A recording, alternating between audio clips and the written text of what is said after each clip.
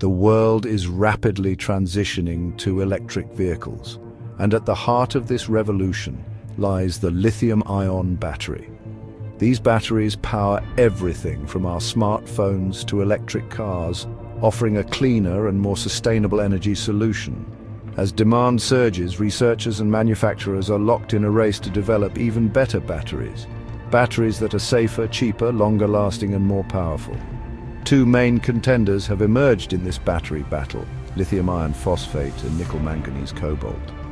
Each chemistry comes with its own set of advantages and disadvantages, making them suitable for different applications. Understanding the strengths and weaknesses of LFP and NMC batteries is crucial for making informed decisions about the future of electric mobility and renewable energy storage.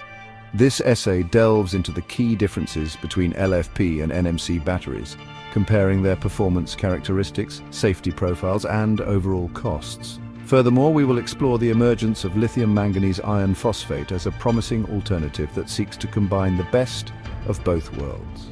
By understanding the intricate trade-offs involved in battery technology, we can better navigate the exciting landscape of energy storage and power the future of electrification. Lithium iron phosphate batteries, as their name suggests, utilize a cathode material composed of lithium, iron and phosphate. This chemistry is known for its robust safety profile, excellent cycle life, and relatively low cost. LFP batteries are inherently more stable than other lithium-ion variants, making them less prone to thermal runaway, a dangerous condition where a battery overheats uncontrollably. Nickel-manganese cobalt batteries, on the other hand, employ a cathode material that combines nickel, manganese and cobalt. NMC batteries are prized for their higher energy density, which translates to a longer driving range for electric vehicles or increased runtime for portable electronics. However, this higher energy density often comes at the expense of cycle life and safety, as NMC batteries are generally considered less stable than their LFP counterparts. The choice between LFP and NMC depends largely on the specific application and desired performance characteristics. For applications where safety and longevity are paramount, such as electric buses, stationary energy storage or power tools, LFP batteries often emerge as the preferred choice. When higher energy density and longer range are critical, as in electric cars or consumer electronics, NMC batteries tend to be favored.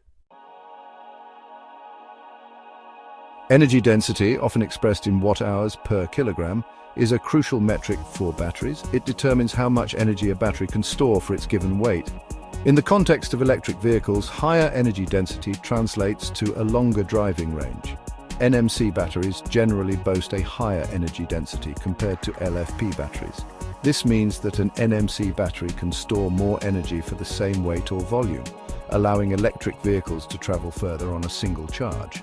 The higher energy density of NMC batteries also makes them suitable for applications where space and weight constraints are significant, such as smartphones and laptops. However, the energy density of LFP batteries is constantly improving.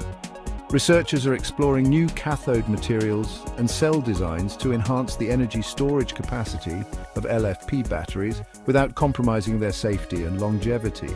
While NMC currently holds the edge in energy density, LFP is rapidly catching up, making it a formidable competitor in the long run. Section 4. Cycle Life the long run. Cycle life refers to the number of times a battery can be charged and discharged before its capacity drops below a certain threshold, typically 80% of its original capacity. A longer cycle life is desirable for most applications, as it translates to a longer lifespan for the battery and reduces the need for frequent replacements.